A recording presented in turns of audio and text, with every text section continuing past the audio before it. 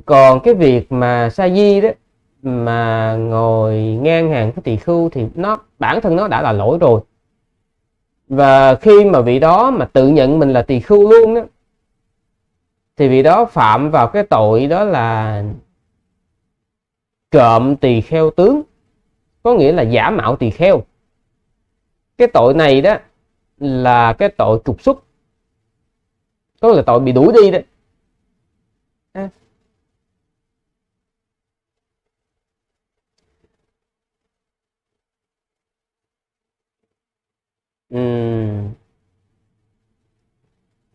Để sư nhớ coi.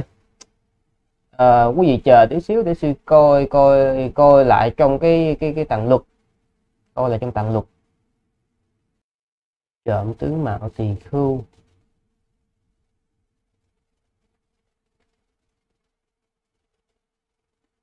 Đây à,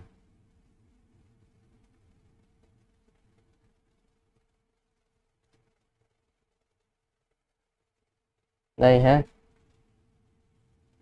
này các tỳ khưu, kẻ trộm tướng mạo tỳ khưu chưa được tu lên bậc trên thì không nên cho tu lên bậc trên.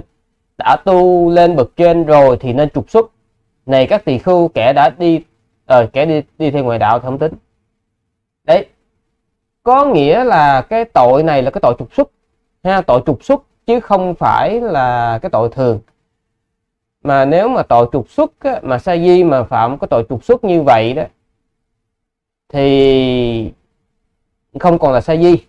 Sa di mà phạm tội trục xuất thì không còn là sa di. Và vị này đó nếu như có sám hối mà tu lại thì trọn đời chỉ được tu sa di không được tu lên tỳ kheo. Nha.